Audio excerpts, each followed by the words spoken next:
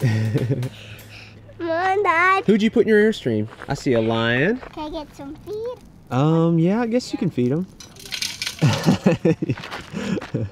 that looks like a pretty fun Airstream. We're wrapping up our stay at McKinney Falls State Park. Um, it's been a great park. Yeah, Great city. Kind of blast. Um, it's like you're in Austin, but not in Austin. So highly recommend it if you're in the area. we have to get out of here though because we always eat way too much in Austin. Just the food is so good. And, oh, we start carrying it around with us, so we have to we have to move on usually. Almost two years ago, we met some friends. Uh, their YouTube channel, Streaming Freedom. And the funny thing is, at the time when we met them, we had our Class A, and uh, they had an Airstream. They had the like uh, the family bunkhouse layout, which has the bunks in the back.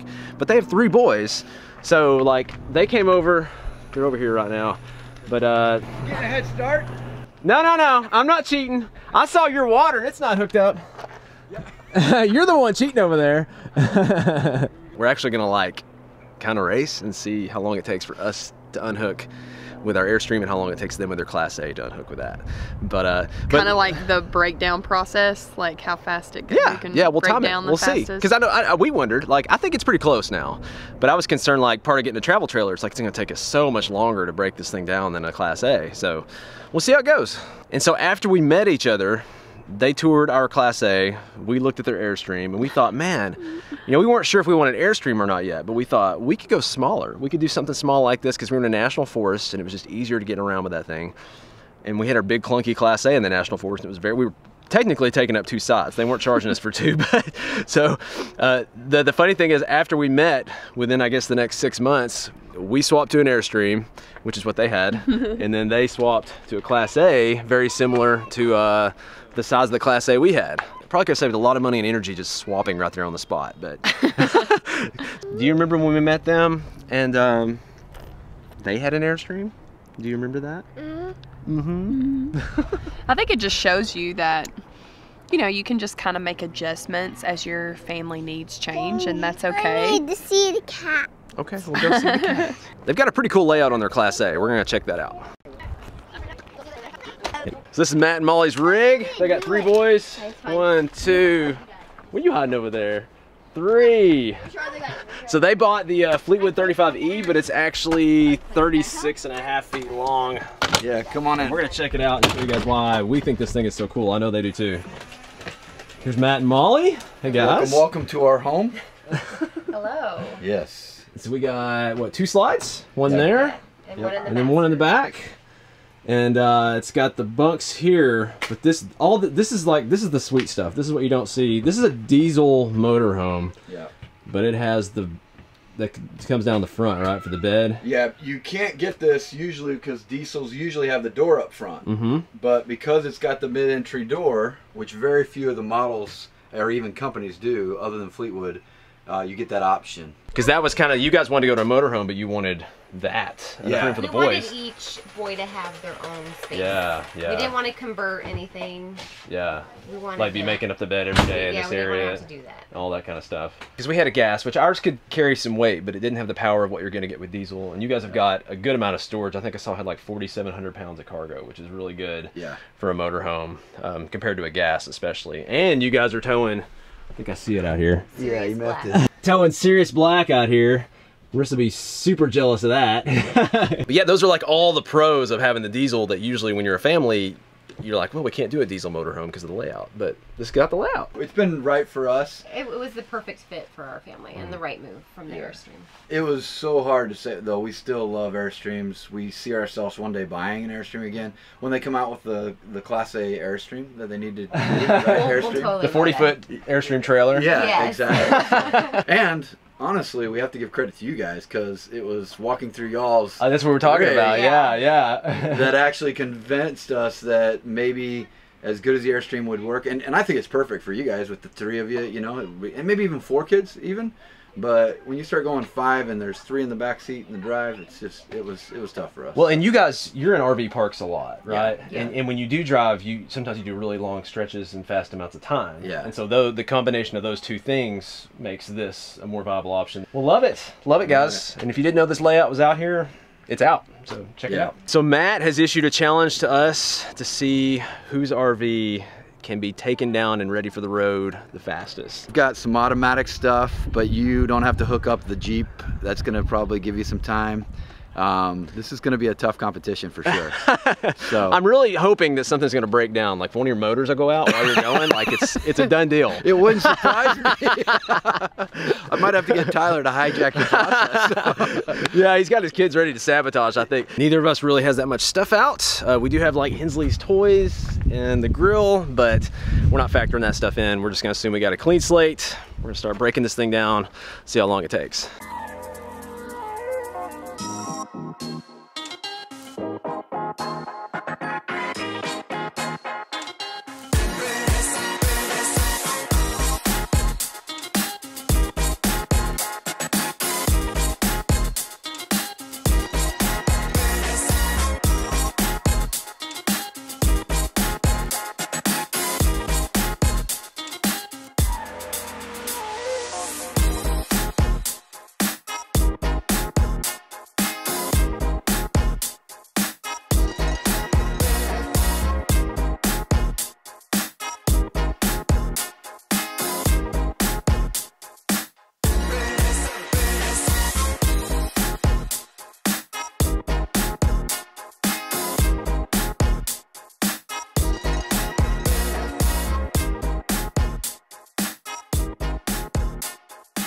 Right, we are done.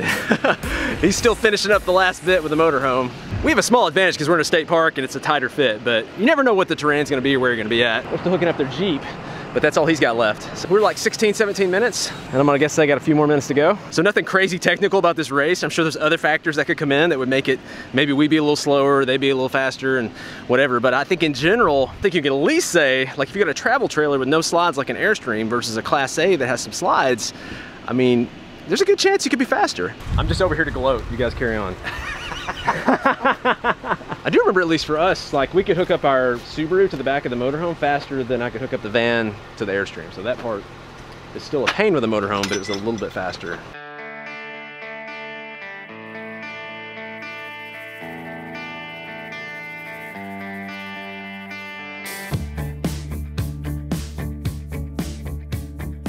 Donut time, Hensley. That's what time it is. That's where we're going.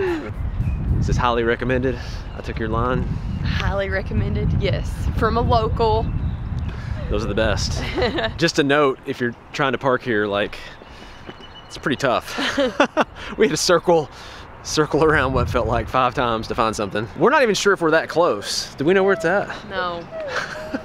Could be a bit of a walk. Look at this line. We're in the right place.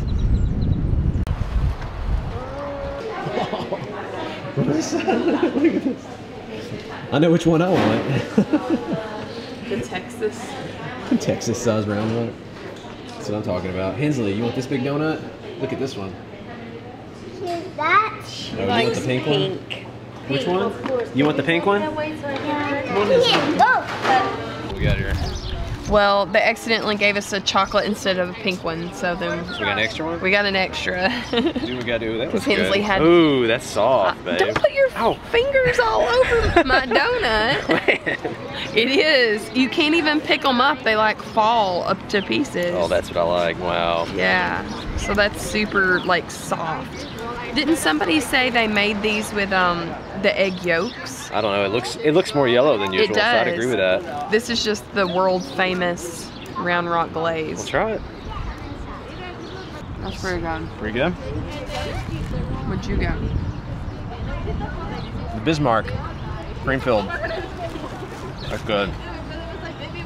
Daddy, I'm having a nice day. Are you? Because that's your second donut of the day, isn't it? you having a nice day? I am having a nice day. Thanks for asking.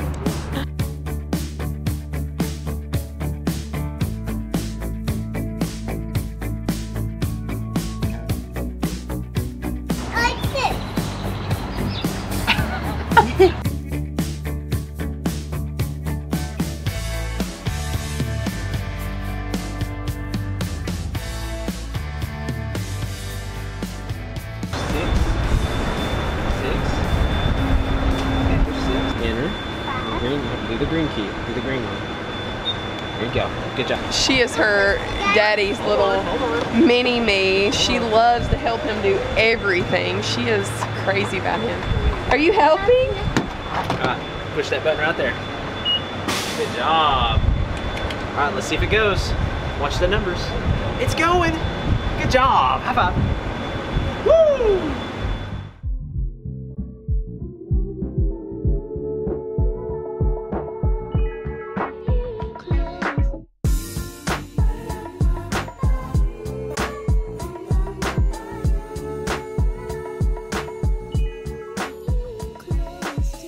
Made it to our next spot.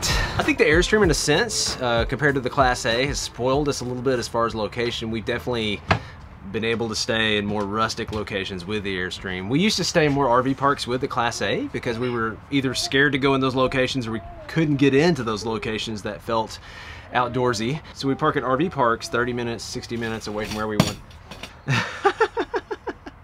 we, we had some bumpy roads on the way here. We would usually stay in RV parks like 30 minutes, 60 minutes outside of where we wanted to be and drive our Subaru in, and it worked. Um, that's what you need to do with a long rig sometimes, but just haven't done this as often. But Marissa's excited for full hookups. Finally. yeah, that's like a treat. So. mm. Hensley still got her doorbell. What? She's. I don't even know what's going on. She's got a toothbrush in her mouth. Isn't she she's still eating? She hasn't even eaten yet. Hensley, you're a goober. You know that? Did you have a good day today? Also excited to have the little competition with Matt from Streaming Freedom on Class A versus Travel Trailer. Um, I was impressed. I've never actually timed how long it took me to take down the Airstream, but it did pretty well. It's definitely less labor intensive with the Class A. It's a lot more automatic stuff and all that. I think it it took him a little longer because he had to move out in the road and hook the Jeep up. But Yeah. that would be a sacrifice I would be willing to take to have a Jeep. Get to hook up the Jeep. well, we hooked up our uh, cargo van pretty quickly and we're ready to move on.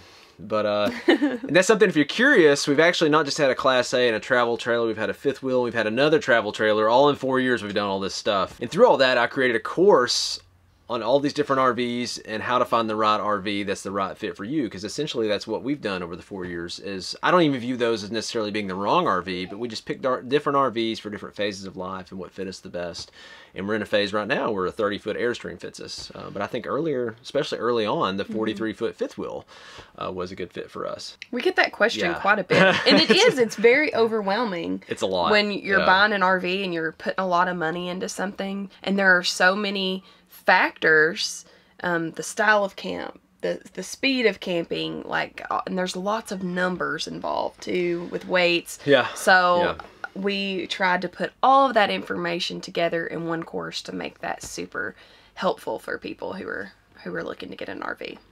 So pretty much created what I wish was there when I started RVing. And if you want a shortcut to that information, check out that course. And if you got questions, comments, let us know along the way as well. We're gonna call it a night, get some rest, and uh, looking forward to Waco next. Be sharing that with you guys. But until then, I'll catch you guys later.